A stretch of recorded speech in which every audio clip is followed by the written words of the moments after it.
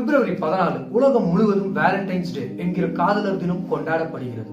அதாவது லவ்வர்ஸ் டேங்க இந்த லவ் என்கிற ஒத்த வார்த்தைக்கு அப்பப்பா எத்தனை எத்தனை தமிழ் அர்த்தங்கள். காதல் நட்பு பாசம் பரிவு அக்கறை இப்படி சொல்லிட்டே போகலாம்.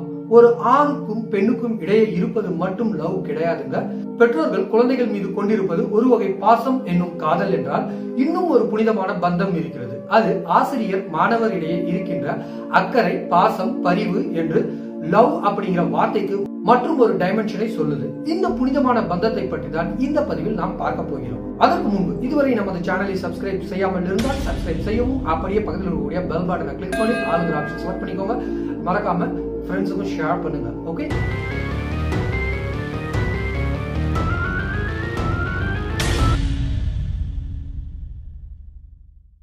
ஆக்சுவலா ஒரு வீக்கெண்ட் முடிஞ்சின அப்புறமா மண்டே காலையில பாத்தீங்கன்னா கிளாஸ்க்குள்ள ஒரு டீச்சர் உள்ள போறாங்க. அவருக்கு அந்த டீச்சருக்கு வந்து ஒரு பழக்கம் இருந்தது. அவங்க கிளாஸ்க்குள்ள போன உடனே ஸ்டூடெண்ட்ஸை பார்த்து லவ் யூ ஆல் என்று சொல்வதுதான். அவங்க சொல்றது பொய்ன்னு அவங்களுக்கே தெரியும். ஆம். அந்த வகுப்பில் உள்ள ஒரே ஒரு மாணவனை மட்டும் அவங்களால நேசிக்க முடியல. ஏன் அப்படின்னு சொல்லி பாத்தீங்கன்னா அவன் அந்த பையன் பாத்தீங்கன்னா ஒழுங்காய் உடுத்த மாட்டார் ட்ரெஸ்ஸ எதிலும் ஒழுங்காய் இல்லாமல் சுட்டி காட்டுவதற்கு எந்த ஒரு சிறப்பு தன்மையும் இல்லாத இருப்பான் அந்த பையன். அந்த பையன் பேர் பாத்தீங்கன்னாக்கா டெட்டி அப்படிங்கிற தியோடர் அவனிடம் மட்டும் ஆசிரியை நடந்து கொள்ளும் விதம் ரொம்ப ரொம்ப வித்தியாசமா இருக்கும். எந்த ஒரு தவறான விஷயத்திற்கும் அவனையே உதாரணம் காட்டினார் எந்த ஒரு நல்ல விஷயத்திற்கும் அவனை நிராகரித்தார். அவ்வாண்டிற்கான காலாண்டு பரீட்சை வந்தது.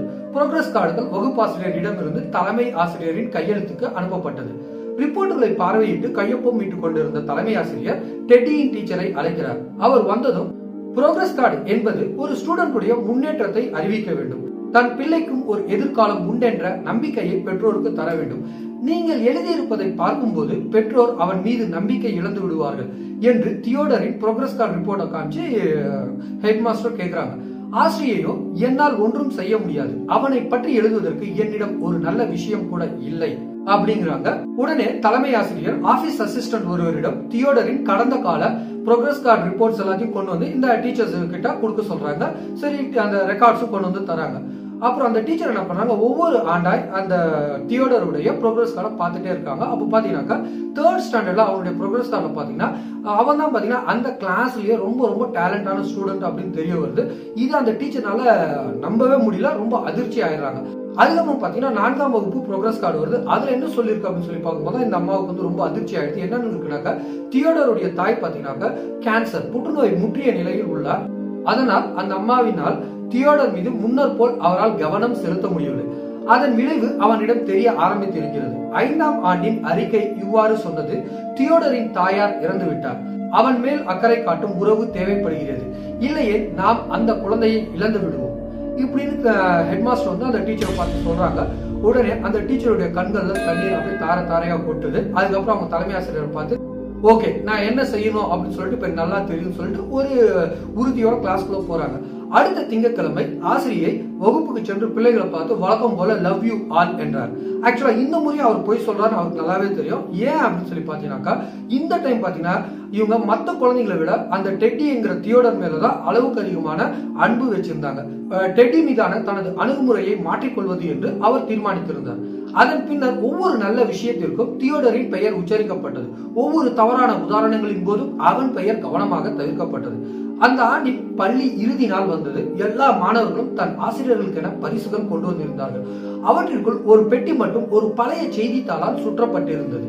ஆசிரியைக்கு அதை பார்த்ததும் அது டெடியிடமிருந்து தான் வந்திருக்க வேண்டும் என உள்ளுணர்வு சொல்லியது. முதலில் அதையே பிரித்தார். பிரித்ததும் அதனுள் பாதி உபயோகித்த சென்ட் பாட்டில் ஒன்றும் சில கற்கள் கலன்று விழுந்த பிரேஸ்லெட் ஒன்றும் இருந்தது. அந்த பொருள் தியோடருடையது என்று புரிந்து கொண்ட முழு வகுப்பறையுமே சிரிச்சது. ஒன்றும் சொல்லாமல் அந்த டீச்சர் என்ன பண்றாங்க? அந்த சென்ட்டை வந்து தன் மேல பூசிக்கிறாங்க. அப்புறம் அந்த பிரேஸ்லெட்டை எடுத்து தன்னுடைய கையிலையும் போடுகிறாங்க. சோ இதெல்லாம் பார்த்துட்டு இருந்த தியோடர் மெதுவா அடு புன்னகையோடு மெல்லிய புன்னகையோடு தியோடர் சொல்றாரு இப்போது உங்களிடம் என் தாயின் வாசம் வருகிறது. இதற்கு முன் அவர் இறுதியாய் வைத்திருந்த சென்ட் பாட்டில் இதுதான்.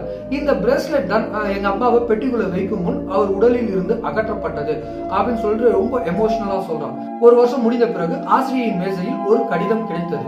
அதுல என்ன எழுதியிருக்கு அப்படின்னு சொல்லி பாத்தீங்கன்னாக்க I have seen few more teachers, but you are the best teacher I have ever seen. With love, Teddy. ஒவ்வொரு ஆண்டு இறுதியிலும் ஒரு கடிதம் கிடைத்தது அதே வரிகளுடன் I have seen few more teachers, but you are the best teacher I have ever seen. With love, Teddy. ஆண்டுகள் பல வேகமாய் உருண்டன அவர்களுக்கு இடையேயான தொடர்பு எப்படியோ அருந்து போனது அந்த டீச்சரும் ரிட்டையர் ஆகிடுறாங்க ஓகே பல ஆண்டுகளுக்கு பின்னர் அவருக்கு ஒரு கடிதம் வருது. யாருக்கு? அந்த டீச்சருக்கு ஒரு கடிதம் வருது. அந்த கடிதம் டாக்டர் தியோடரிடமிருந்து வருகிறது. Ma'am I have seen many more people in my life you are the best teacher I have ever seen now I am going to get married I cannot dream of my marriage without your presence I am your teddy doctor Theodore அத்துடன் போய் வர விமான டிக்கெட்டுகளும் இணைக்கப்பட்டிருந்தன. ஆசிரியைக்கு இருப்பு கொள்ளவில்லை. அவரிடம் அந்த send பாட்டில் தற்போது இல்லை. பிரேஸ்லெட் பாதுகாப்பா இருந்தது. அதை மட்டும் எடுத்து கையில மாட்டிக்கிட்டு கல்யாணத்துக்கு கிளம்புறாங்க. சரி மேரேஜ் ஹாலுக்கு போயிடுறாங்க. அங்க போயிட்டு அந்த சேர்ல போய் உட்காரத்துக்கு தேடிட்டு இருக்கும்போது அங்க இருக்கக்கூடிய ஊழியர்கள் வந்து அவங்கள எப்படி அடையாளம் கண்டுபிடிச்சிட்டு என்ன பண்றாங்க? அவங்களுக்கு அவர்களுக்கென்று ஒதுக்கி வைக்கப்பட்ட முன்வரிசையில் ஒதுக்கி வைக்கப்பட்ட ஒரு சேர்ல கூட்டிட்டு போயிட்டு உட்கார வைக்கிறாங்க. அந்த சேர்ல என்ன எழுதிருக்குன்னு சொல்லி பாத்தீங்கன்னா மதர் அப்படின்னு சொல்லிட்டு ஒரு நேம் போர்டு வச்சிருக்கோம். சோ அந்த அம்மாவும் அதுல உட்காந்துக்கிறாங்க திருமணம் முடிகிறது. தியோடர் தன் புது மனைவியுடன் ஆசிரியையை பார்த்து அறிமுகம் செய்து வைத்தார். இவர் மட்டும் இல்லை என்றால் நான் இன்று இந்த இடத்தில் நின்றிருக்கவே முடியாது. தியோடரின் கண்களில் கண்ணீர். ஆசிரியை அந்த புது மணமகளை பார்த்து சொல்றாங்க ஒரு ஆசிரியர் தன் மாணவர்களுக்கு முதலில் ஒரு தாயாய் இருக்க வேண்டும் என்பதினை நான் அறிந்திருக்கவே முடியாது. குழந்தைகள் பள்ளி செல்ல ஆரம்பித்து விட்டால் அந்த குழந்தைகள் தங்களுடைய பேரண்ட்ஸிடம் நேரம் செலவழிப்பதை விட ஆசிரியர்களிடமே அதிக நேரம் இருக்கிறார்கள். அதே போல் டீச்சர்ஸும் தங்களுடைய குழந்தைகளை விட மாணவர்களிடையே அதிக நேரம் செலவழிக்கிறார்கள். இந்த ரெண்டு கேரக்டர்ஸ்க்கும் இடையே நல்லதொரு ரிலேஷன்ஷிப் அமைந்து விட்டால் மாணவர்கள் அனைத்தையும் சாதிக்கலாம். அவர்களை சாதனையாளர்களாக மாற்றி ஆசிரியர்களும் சாதனையாளர்கள் ஆகின்றனர். இந்த பதிவு உங்களுக்கு பிடித்திருக்கும் என்று நம்புகிறேன். மீண்டும் அடுத்த பதிவில் சந்திக்கலாம். நன்றி வணக்கம். ஜெயஹிந்த்